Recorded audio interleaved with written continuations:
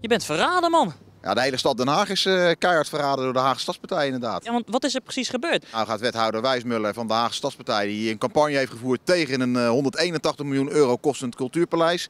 Ja, die gaat nou een cultuurpaleis bouwen van 190 miljoen euro. Hij heeft ook een actiegroep, uh, Spuikforum, Krankjorum, uh, Dooyevaar. En een hoop ook mensen stonden achter hem, die hebben vertrouwen in hem gegeven. Ja, nu zit hij op het plus en eh, schijnt hij die woorden eh, als lijsttrekker van de Haagse Stadspartij nu als wethouder vergeten. Voel je je genaaid?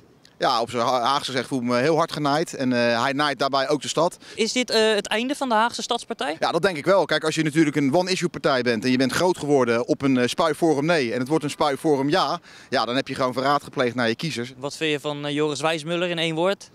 Ja, op dit moment een waardeloze vent. In één woord? Waardeloos.